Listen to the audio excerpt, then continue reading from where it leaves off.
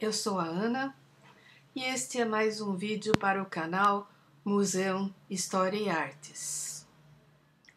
E apesar de hoje ser Halloween, eu não vou falar de filmes de terror, porque vocês sabem, eu sou uma pessoa flopada, que não engaja, que não faz clickbait, que faz um calendário todo próprio. Então, o vídeo que eu programei para hoje não tem nada de assustador, não tem nada de oportunista.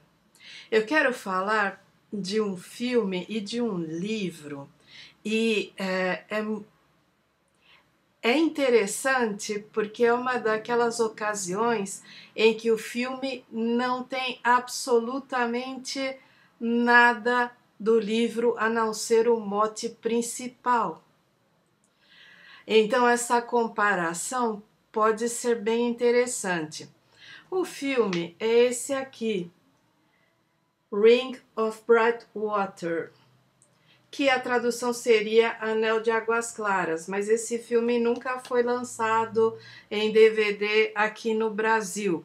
Ele passou na TV a exaustão nas décadas de 70 e 80 e era apresentado como a lontra travessa.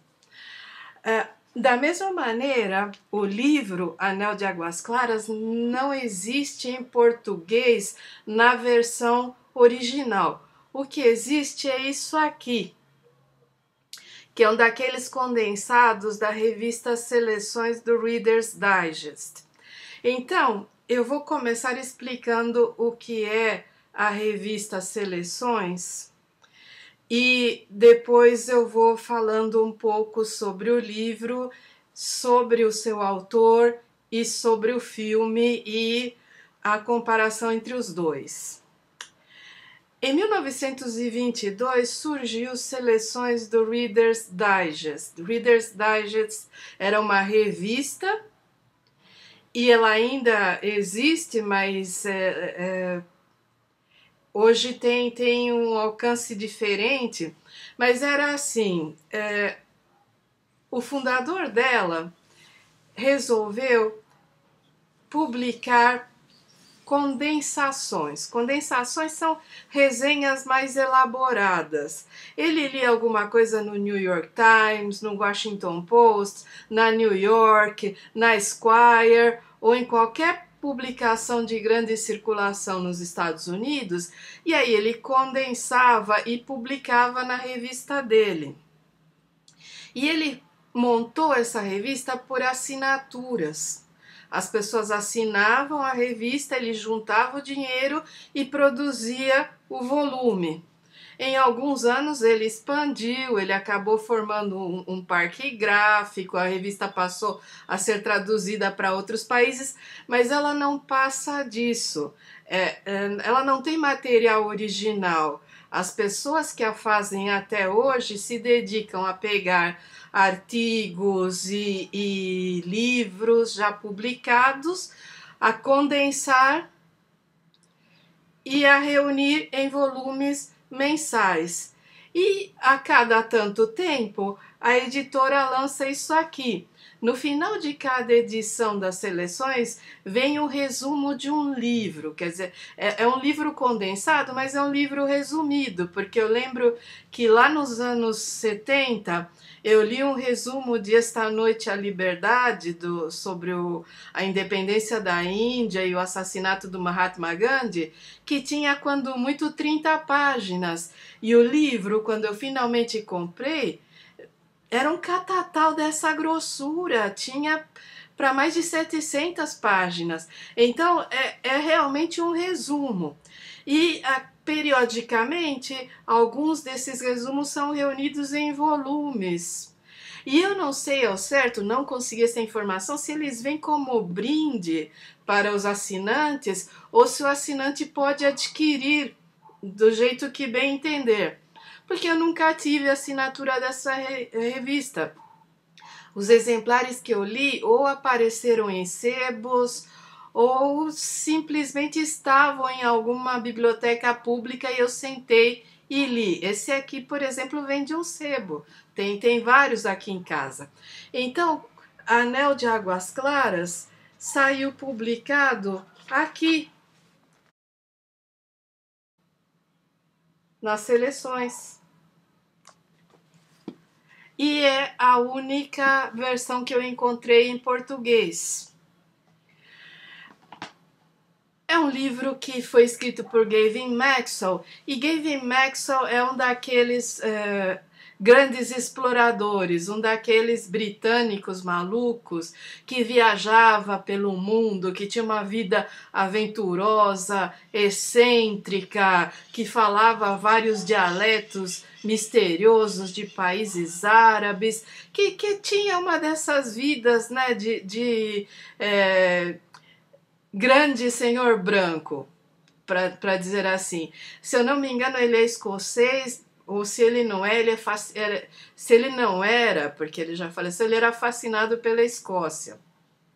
Então ele mantinha, uh, ele alugava uma, uma casinha nesse lugar bonito chamado Camusferna, que é, dava para um, um, uma espécie de lago e depois para o mar e, e, e tem é, é, é um lugar idílico e passava toda vez que ele ia escrever um livro sobre as suas viagens ou sobre política internacional, ele ia para esse lugar e se isolava. Em algum momento na vida dele, visitando o Iraque, ele se interessou por lontras e resolveu que ia ter uma lontra, porque gente, nós estamos falando, né, de da primeira metade do século XX. Então as pessoas tinham uma abordagem das coisas e os europeus se comportavam de uma maneira nos outros países totalmente ultrajante. Então ele saiu por aí procurando de qualquer maneira e o amigo dele deu alerta e, e, e até que achou um filhotinho desgarrado e pegou. E ele levou esse filhote para as Ilhas Britânicas, ele morava em Londres. Durante algum tempo ele conseguiu ficar com, com ele em Londres, andava até na rua com coleirinho, umas coisas assim. É, que hoje não, não, tem, não, tem a menor, não tem o menor cabimento. Mas aí ele pensou que o lugar ideal seria levar lá para a Escócia. Ele aproveitou que ele queria escrever mais um livro e ele foi para lá.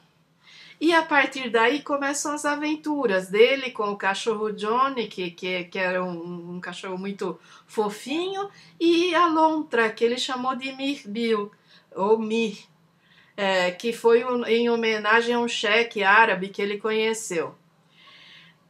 E, gente, o livro é todo contando, quer dizer, o, o, resumo a que eu tive acesso é ele contando como que ele foi se adaptando, como que, é, que, que a lontra virou a vida dele no avesso, como que é, tudo tinha que ser pensado em função do, do animal e que de repente é, como ele tentou adestrar e mal conseguiu, como é, o, é, é é interessante, é muito interessante e ao mesmo tempo dá uma noção de como esse tipo de homem, a visão de mundo que ele tinha, como se tudo tivesse que se é, colocar à sua disposição. E ele viajava às vezes e deixava a lontra aos cuidados de outras pessoas. Em uma dessas viagens, quando ele voltou, a lontra tinha sido morta. E, e registrem isso, porque depois eu vou retomar. Então ele faz todo o, o, capítulo em que ele fuçou e fuçou e fuçou até encontrar quem tinha matado e como ele ficou arrasado e como depois ele tentou de qualquer maneira ter outra lontra e várias morreram nesse processo até que finalmente ele conseguiu uma que sobreviveu à viagem do Iraque até a Inglaterra e, e finalmente conseguiu levar uma, uma outra lontra para o norte da Escócia. Então é assim, é, é, é meio que um, uma narrativa de redenção, de como a lontra domesticou ele, como ele se apaixonou, como ele sofreu com a morte e como ele ressuscitou no processo de que sempre deveria ter uma lontra em Camusferna. E, bom, esse é o livro. Agora, se você chegou aqui porque amou o filme, então a gente a conversa a partir daqui é outra, porque Gavin Maxwell colaborou no roteiro do filme é, que tem o mesmo nome, Anel de Águas Claras, mas que para a gente ficou conhecido como A Lontra Travessa. E aí entra toda um, uma conjuntura. Jack Kaufer, que é o diretor do filme, era especializado em documentários com animais. Trabalhou nos estúdios Disney, naqueles filmes que passavam de sábado à tarde, aqui na década de 70. É, Para quem nasceu depois, antes de ter programas de auditório na Globo de sábado à tarde, havia uma sessão que chamava Disneylândia e que na maior parte das vezes não passava desenhos animados e sim filmes feitos pela Disney tanto para a TV quanto para o cinema.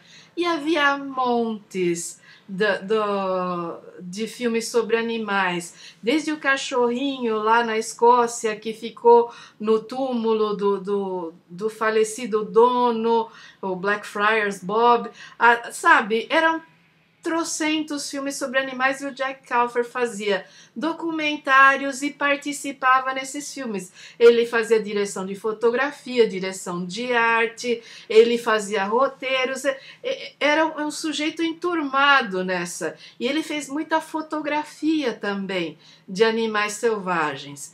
Então, em um determinado momento, ele começou a trabalhar com Bill Travers e Virginia McKenna, que eram dois atores que gostavam de fazer esse tipo de filme de animais. Eles fizeram a, a história de Elsa, que chama Born Free, que é sobre a leoa Elsa, e a sequência que é Living Free, Vivendo Livremente, que é, que é sobre a, a primeira ninhada da Elsa, quando ela volta para, para a, a vida selvagem.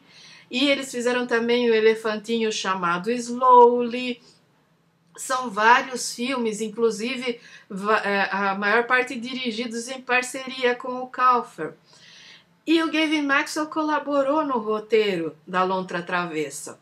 Ele, ele, a adaptação parte de, de uma história em que não é um, um, um, sujeito aventureiro nem nada. É um sujeito totalmente urbano que, que tem um trabalho no escritório e que sonha com largar tudo para escrever um grande romance, porque ele sonha em ser escritor, mas é só mais um escriturário por aí, alguém que, que tem um emprego burocrático, monótono, mas um homem de terno. E aí é, sempre que ele passa diante da loja de animais, tem uma gaiola com uma lontra que segue ele com o olhar e prende o olhar dele e ele vai e volta, ele se disfarça e o animal sempre reconhece, ele passa escondido por livros, por jornais e o animal sempre chama ele até o momento que ele entra e compra e leva para o apartamento, e aí é, é, quase que um pastelão as coisas que o, que o bichinho faz. As, é, é, é, é muito fofo, é um filme infanto-juvenil, embora tenha o, o desfecho trágico mas é, é um, é, tem, tem a mesma, o mesmo arco de redenção do livro, porque a partir do momento em que ele vai para aquele lugar longe na Escócia, aluga um chalezinho e começa a tentar escrever o livro dele, ele mal consegue, porque a lontra demanda, ela, ela se sente à vontade, mas ao mesmo tempo ela começa a provocar situações e ele acaba tendo que adotar uma ninhada de patos. Ele, e ele tem uma cena hilária que ele tenta ensinar os patos a voar, porque eles, não têm mãe, e, e, e é um filme muito fofinho. Mas o desfecho nesse filme é que ele faz amizade com a veterinária local e num dia que ele tem que ir a trabalho a Londres, ela sai passeando com a lontra e um, um cavador de valetas bate e fala para ela, mas é só uma lontra. E é horrível, porque todo mundo ali sabia que essa era a lontra dele. Então, quando ele volta e a lontra está morta, ele fica arrasado e aí o livro passa a ser sobre a lontra, como na vida real, porque no final o, o Maxwell acabou escrevendo um livro sobre a lontra. E o filme termina com aquela coisa positiva, porque o, os patinhos aprendem a voar, tocam a vida deles e quando a primavera chega, é, passa uma outra lontra com filhotes.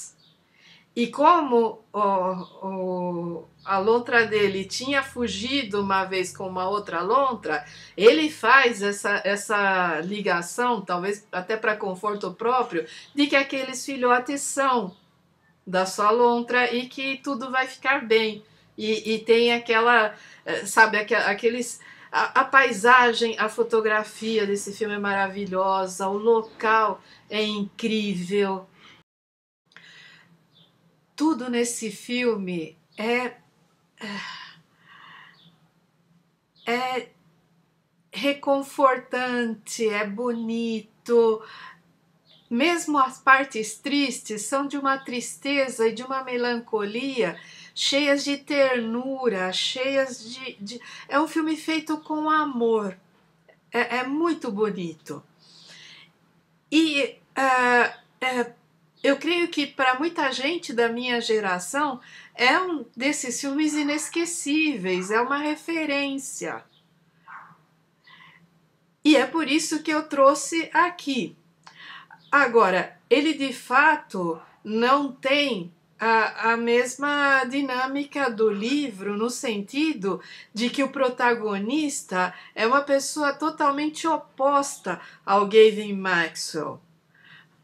É, é uma pessoa que, que tem que era tão inexpressiva, tão medíocre naquele seu mundinho, não era um aventureiro de fama internacional, era, era um, um, um cidadão comum, de terno, indo para o trabalho todos os dias, e a lontra é, age como sabe, abre a vida dele de uma maneira que ele nunca mais vai voltar a ser o mesmo. E, e isso é muito bonito, é retratado de uma maneira muito bonita. Agora, lembram que eu falei sobre a questão da morte da lontra lá na vida real? Então, Gavin Maxwell era um sujeito extremamente excêntrico. Havia boatos de homossexualidade, mas ao mesmo tempo é, não há nada que sugira sequer que ele tinha uma grande vida amorosa ou sexual. Ele tinha flertes aqui ou ali, ele de fato é, flertou com várias mulheres e conviveu com muitas delas, mas não há nada que, que diga ou que afirme o que ele era ou deixava de ser. Mas em algum momento ele fez amizade com uma poetisa e foi ela quem ficou encarregada de vigiar a lontra. E foi sob a vigilância dela que a lontra fugiu e foi morta por um, um trabalhador das estradas. Há ali é, a maneira como a lontra foi morta. Havia várias versões, ele teve que cavocar muito para que contassem a verdade para ele. Mas para essa amiga dele, o Maxwell foi o grande amor da vida dela. Ela tinha filhos, estava em um casamento infeliz, havia separado duas vezes e ela era apaixonadíssima por ele. Mas não é só que ele, que ele não correspondia, ele jamais perdoou que ela tivesse perdido a lontra de vista. Então, quando ele é, colabora no roteiro do filme, faz essa cena terrível em que a doutora vai andando pela estrada super feliz com o cachorrinho de um lado e a lontra correndo pelas valetas do outro, brincando, e aí de repente ela vê o cara matar. Ela, ela, ele mata olhando nos olhos dela, como um ato de provocação, porque esse era um vilarejo em que as pessoas não gostavam de forasteiros. E ele era mal visto e ela era mal falada por ter feito amizade com ele. Então há, há um certo sabor meio amargo de vingança nessa cena, em que dá para notar que o Maxwell jamais perdoou aquela antiga amiga dele. E há também outros detalhes no roteiro que mostram o quanto ele, é, mesmo contando uma história totalmente diferente, como ele ainda tentava manter a, a narrativa com a lontra como o centro das atenções e os humanos como acessórios. É diferente dos outros filmes do Kaufer, em que você tem uma interação perfeita entre animais e humanos. O roteiro da lontra tem muitas cenas da lontra sozinha, sabe? Dela na natureza, dela no apartamento, dela é, é, ali como se ele estivesse tentando recuperar uma parte da vida que ele perdeu e que isso fosse fixado no filme.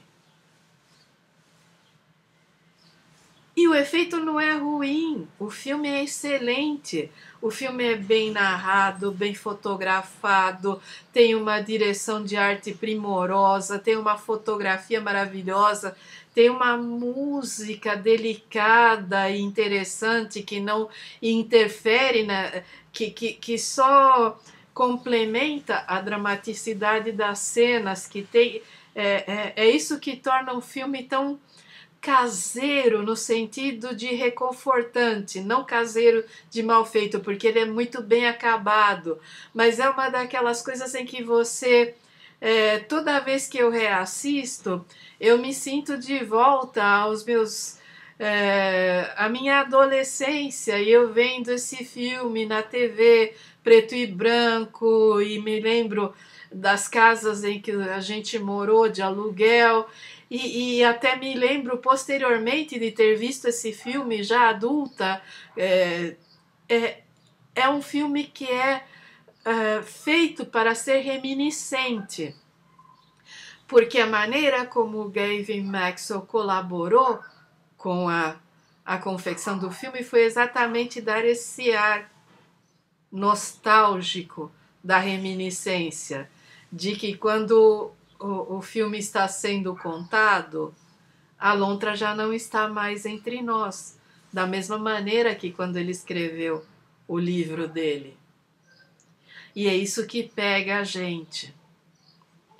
E é interessante você encontrar, e nesse ponto vocês sabem que eu sou super cri-cri com adaptações de livros, que eu sou é, terrivelmente chata. E durante muito tempo eu me ressenti, porque eu conheci o filme primeiro e o livro depois. E eu pensava, nossa, como é que pegaram um livro tão chato e fizeram um filme tão legal? O que, que está acontecendo ali? Porque para mim o filme era muito melhor do que o livro. Foi só depois de muitos anos, sabe? De, depois que a gente vai envelhecendo, muitas coisas passam a fazer sentido. Eu creio que a, a experiência de vida matiza muita coisa. Se por um lado eu fiquei mais cri-cri com gente que gasta os tufos de dinheiro para adaptar best-sellers ou livros consagrados só para bombar e ganhar Oscar, por outro lado, eu passei a ter uma simpatia maior com esse tipo de projeto despretensioso, com esse tipo de, de filme que fala diretamente ao sentimental que não é um filme de arte, que não é um filme de bilheteria, que não é um filme sequer oscarizável, mas que quando você assiste é algo que vai te acompanhar.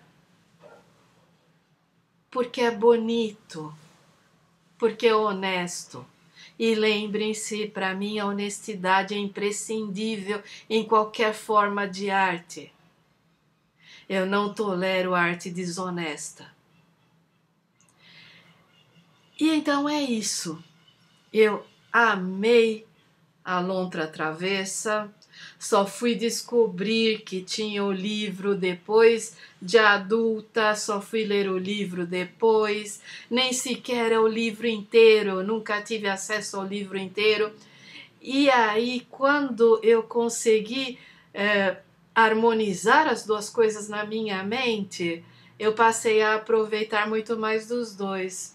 E esse aqui eu ganhei do povo aqui de casa em um aniversário meu.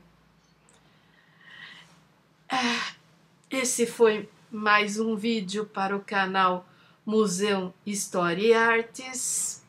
Espero que se vocês tiverem chance de assistir o filme, vocês assistam. Se você está assistindo fora do Brasil e tiver acesso a alguma tradução desse livro em qualquer outra língua, eu sugiro que leia, porque é interessante. Não é tão legal quanto o filme, não é? Até porque é, esses é, solteirões misantropos e misóginos com narrativas de heroísmo e, e, e aquela síndrome de grande senhor branco da Europa eh, são entediantes para pessoas como nós. Mas tem seu mérito, é um livro bem escrito e, e, a história dele é um arco de redenção. Para quem gosta, é um prato cheio. Então, eu sugiro que quem tiver acesso veja o filme, uh, leia o livro e que vocês assistam outros filmes do Jack Calfer com a Virginia McKenna e o Bill Travers, que são todos ótimos. E que vocês visitem aqui o canal, tem um monte de material já, e tem o canal original que leva meu nome por extenso. Eu publico uma semana lá e outra aqui, e a gente vai tocando a vida assim. Eu espero que vocês estejam bem, que se cuidem muito um enorme abraço e até a próxima.